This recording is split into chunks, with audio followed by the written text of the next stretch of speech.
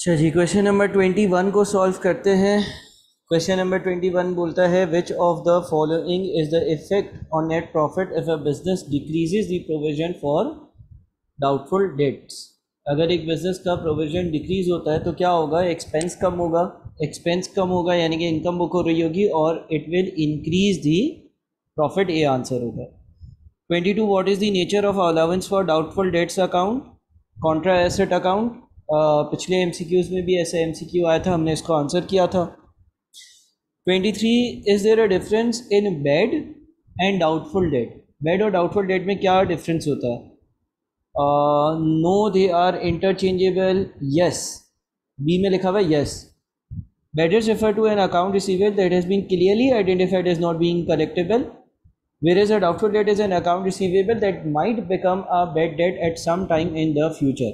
ऐसा ही होता है बेड डेट का मतलब होता है हंड्रेड परसेंट कन्फर्म है और डाउटफुल डेट का मतलब ये होता है कि आपको डाउट है कि बाद में जो है वो ये वाले पैसे नहीं मिलेंगे तो ट्वेंटी थ्री का आंसर होगा B twenty four what is the double entry for recording write off of any of debts यानी कि बेड डेट्स को अगर राइट ऑफ़ करना हो तो क्या एंट्री पास होगी? बेड डेट एक्सपेंस डेबिट और अकाउंट्स रिसीवेबल्स क्रेडिट ये एंट्री हम बेसिक लेक्चर में पढ़ चुके हैं।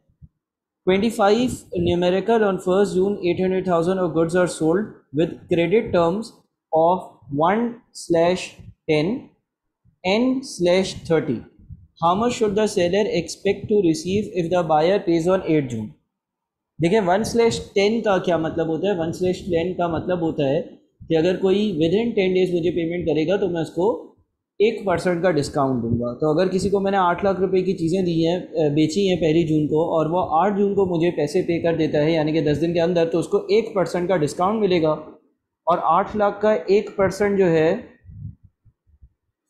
वो अस्सी हज़ार बनता है। तो अस्सी हज़ार रुपये का जो है वो डिस्काउंट होगा।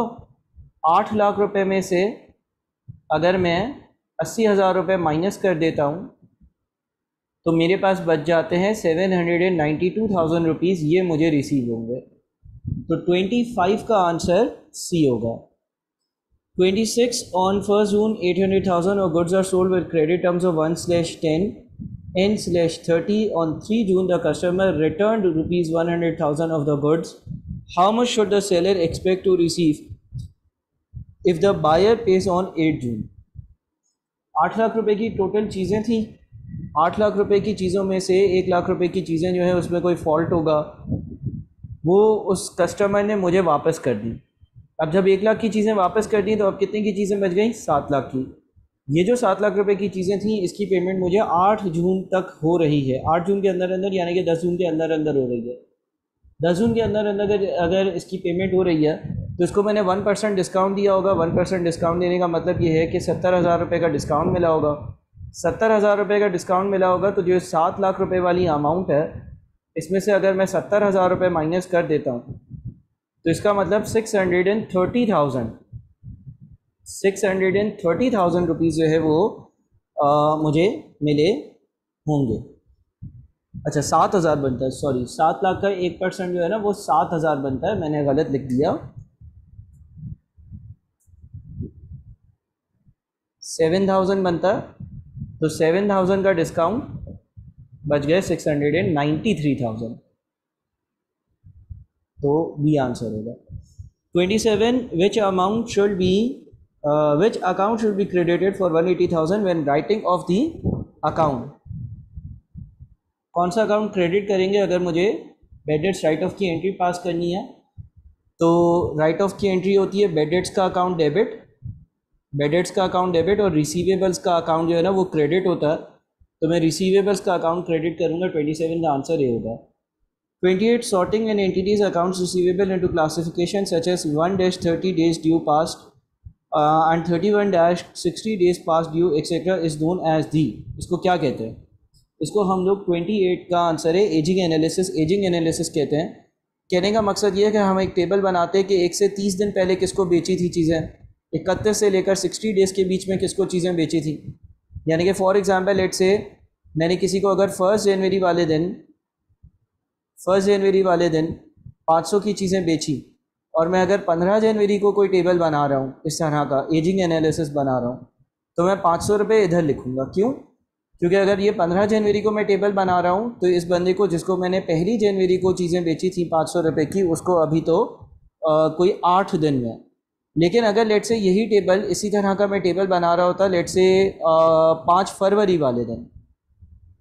यानी कि सेल होने के कितने दिनों बाद? सेल होने के लगभग तकरीबन पैंतीस दिनों बाद। तो मैं इस टेबल में वन डैश थर्टी वाला एक कॉलम होता, एक कॉलम होता थर्टी वन डैश सिक्सटी मैं थर्टी वन डैश सिक्सटी वाले कॉलम में फाइव हंड्रेड लिखता, इसको हम एजिंग एनालिसिस कहते हैं कि किसने कितने पहले हमसे चीज़ें खरीदी थी। Twenty nine the opening balance of allowance for doubtful debts account is one thousand where is the closing balance of receivables account is hundred thousand What amount of allowance for doubtful debt should be charged to statement of profit or loss using a 5% allowance for doubtful debts for the current accounting period? ऐसे सवाल बहुत सारे हमने करे। सीधा सीधा हम करेंगे ये कि रिसीवेबल्स का जो क्लोजिंग एक लाख का बैलेंस है, उसका हम ले लेंगे पाँच परसेंट जब हम एक लाख का पाँच परसेंट लेते हैं तो वो बन जाता है पाँच हज़ार रुपये जो हमारा ओपनिंग था, वो हज़ार था ब्रॉड डाउन हज़ार था। कैरी डाउन जो है वो पाँच हज़ार है, यानी कि चार हज़ार का इजाफा है। इजाफा यानी कि इंक्रीज़ इंक्रीज़ यानी कि पी एन एन में ट्वेंटी नाइन का बी आंसर होगा। चार हज़ार का एक्सपेंस बुक होगा। Question number thirty The allowance for doubtful debts account has a year-end credit balance prior to adjustment of rupees 500 एक अलाउंस फॉर डाउटफुल डेट्स के account का साल के आखिर का एडजस्टमेंट से पहले का बैलेंस 500 है। Bad debts are estimated at seven percent of sixty thousand of outstanding receivables after the appropriate adjusting entry to recognize the bedded expense, the allowance for doubtful debts account should have a dash credit अच्छा तो अब यहाँ पर बात सारी ये है कि सबसे पहले तो हम ये देख लेते हैं कि हमारे पास जो है ना वो बेडेड कितना होगा? ठीक है? देखिए, उससे बोला the allowance for doubtful debts account has a year end credit balance prior to adjustment of rupees five hundred adjustment से पहले जो हमारे पास बैलेंस आ रहा है, वो पाँच सौ है, ठीक है। The bad debts are estimated at seven percent of sixty thousand sixty thousand का सेवन परसेंट कितना होता है? सिक्सटी थाउज़ेंड का सेवन परसेंट होता है, चार हज़ार दो सौ। After the appropriate adjusting entry to recognize the wedded expense, the allowance for doubtful debts account should have a dash credit balance. अच्छा हम्म ये कुछ खतरे वाला सवाल लग रहा है the allowance for doubtful debts account has a year end credit balance prior to adjustment of rupees five hundred The budgets are estimated at 7% of rupees 60,000 of outstanding accounts receivable. After the appropriate adjusting entry to recognize the bedded expense, bedded expense recognize कर कर sixty thousand rupees के receivable थे चार हज़ार दो सौ का bedded अगर हो गया तो सिक्सटी थाउज़ेंड माइनस चार हज़ार दो सौ अब बच गए fifty five thousand eight hundred After the appropriate adjusting entry to recognize the bedded expense, the allowance for doubtful account should have a dash credit balance. अच्छा ये बड़ा कोई अजीब सा सवाल है। एनीवेज मैं इसको देख के बता दूँगा। मेरे हिसाब से तो देखिए रिसीवेबल्स का क्लोजिंग बैलेंस जो है ना वो fifty five thousand eight hundred बनता। है ठीक है? और मज़ीद तो कुछ ऐसा बात समझ में नहीं आती है। अच्छा जो बुक में आंसर दिया हुआ है इसका ए आंसर दिया हुआ है। लेकिन ये आंसर किस लॉजिक से दिया हुआ है? वो नहीं पता, क्योंकि ये तो बेडेट्स का अमाउंट है तो एनी इसको स्किप कर कर थर्टी वन पर चलते हैं। आप लोग मुझसे जो है वो व्हाट्सएप पर पूछ लीजिएगा कि इस क्वेश्चन को मैंने जब मज़ीद रिसर्च किया या देखा तो मुझे क्या कंक्लूजन मिला।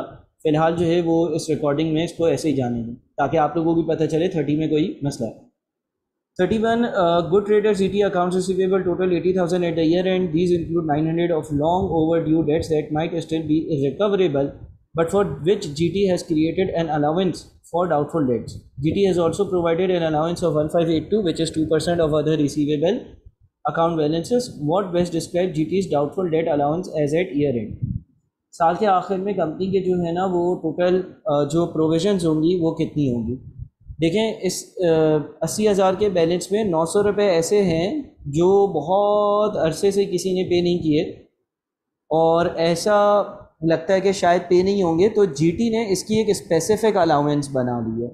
स्पेसिफ़िक अलाउंस का हमने कॉन्सेप्ट पढ़ा हुआ है कि किसी एक स्पेसिफ़िक डेट पर मुझे जो है वो एक स्पेसिफिक परसेंटेज लगानी हो या मुझे यूँ लगता है कि यार नौ सौ रुपये ये वाले इस बंदे वाले शायद ही मिलेंगे।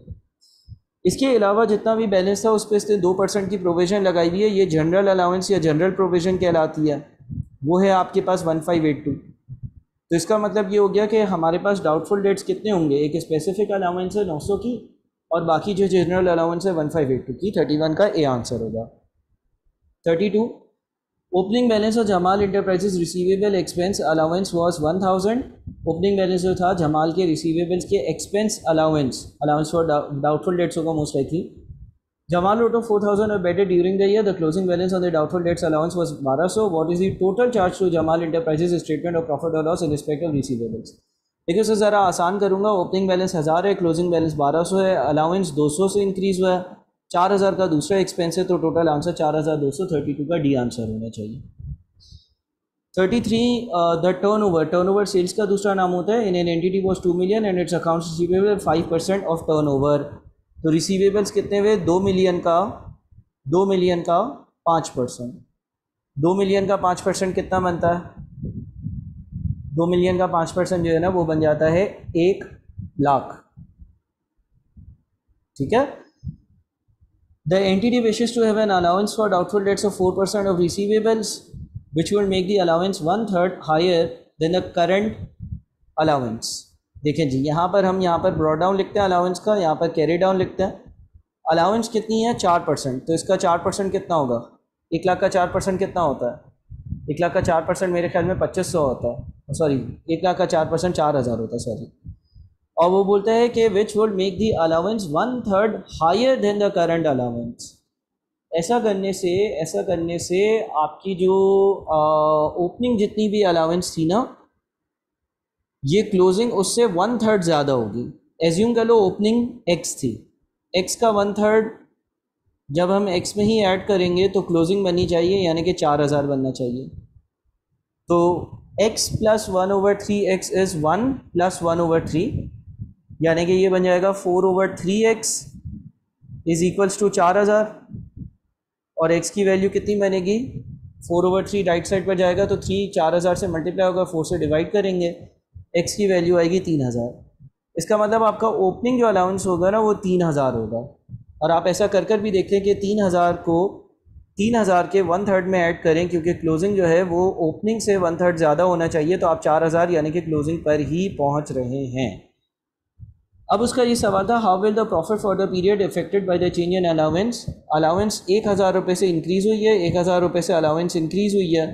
तो प्रॉफिट एंड लॉस अकाउंट में एक हज़ार का एक्सपेंस रिकॉर्ड होगा profit will be reduce by one thousand यानी कि थर्टी थ्री का आंसर ए होगा।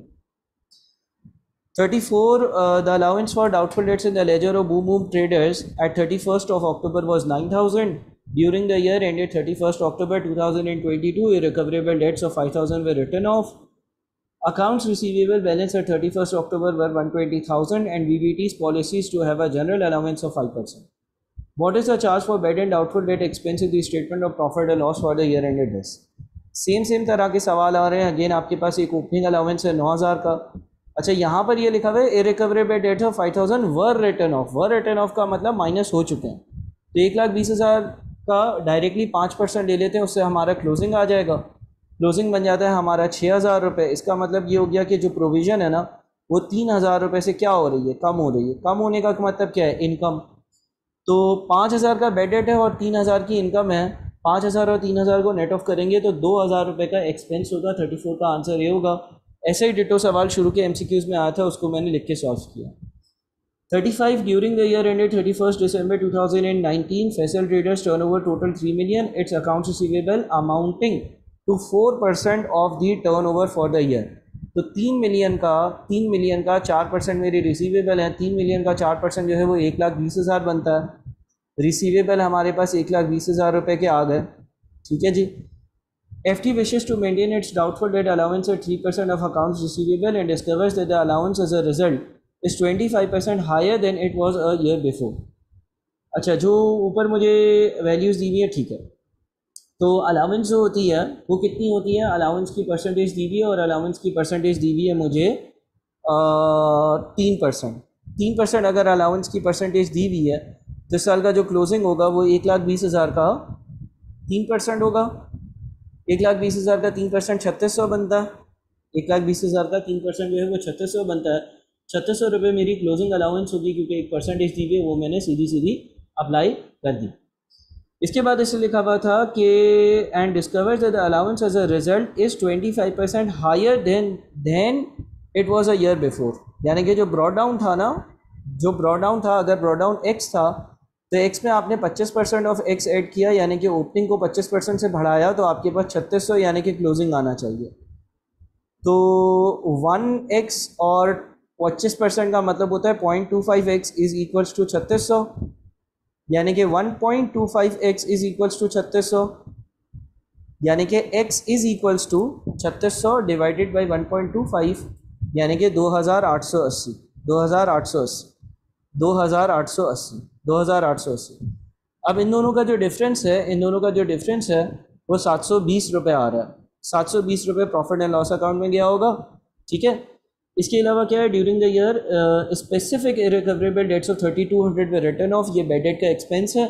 And irrecoverable debts written of three years ago previously of one fifty were recovered और इतनी रिकवरी हुई है, ये बेड डेट रिकवरी की इनका में ये कॉन्सेप्ट हमने पहले डिस्कस किए तो इसका मतलब सात सौ बीस का एक एक्सपेंस जमा बत्तीस सौ का एक एक्सपेंस माइनस डेढ़ सौ की इनकम तो net expense three seven seven zero का होगा थर्टी फाइव का आंसर जो है वो सी बनेगा। अगले सवाल इंशाल्लाह अगली आने वाली वीडियो में सॉल्व करते हैं।